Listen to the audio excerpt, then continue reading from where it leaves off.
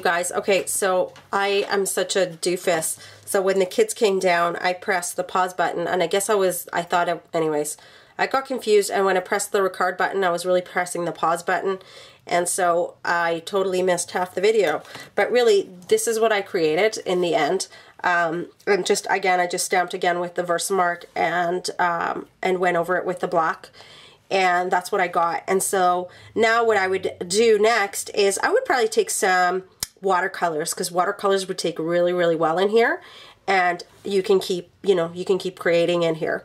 And um, yeah, I'm just, I'm probably to keep going with this a little bit, maybe darken the edges with some of the black or do something really fun. But I just really wanted to give you a taste of what the pan pastels are like.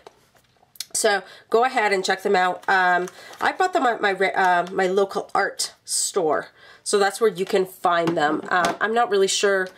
Might want to Google it and see if uh, Pan Pastels comes up and, and uh, where people carry them. But um, that is it. And like I said, they're awesome with uh, any paper resist that you have in your stash. Those work really, really great.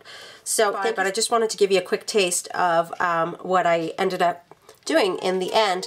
And my kids are in the background and I'm really sorry but I just really wanted to show you um, what it ended up looking. And so I used a ton of watercolors um, and I know that the thing is you gotta watch right? Because if you put watercolors on here with the pan pastels they are gonna kind of blend. So you gotta watch when you're when you're doing it so that they don't touch too much. Um, but I, I still and then this actually I inked with um, on. So that's why the black actually stayed really well on here and I did that on the top. So I used the same stamp, just um, just not using the entire image, that's all. And I just used a really old Heidi Swapp stamp, which is one of my favorites. It's this Cherish. And uh, just stamp that in the middle, and then I just put the date and with my initials on the bottom. And so this is my first page of my mixed media journal, and I'm so excited. So thanks again for you guys for watching. Bye-bye.